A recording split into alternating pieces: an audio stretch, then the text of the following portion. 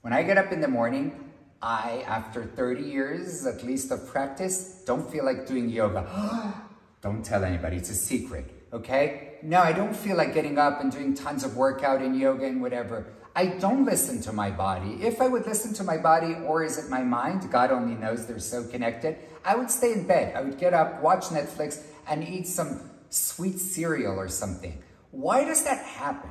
It happens because the body is still working like it used to do to work hundreds of thousands of years ago, where it said, save your energy for when you're, need to gonna, when you're gonna need to run away from a tiger, and eat some sugars because you'll need that energy for later. We're not running away from tigers and we have abundant food. So don't necessarily listen to your body in terms or your mind in terms of what you feel like, but actually set intentions. What do you need? What's important for you? What's good for you?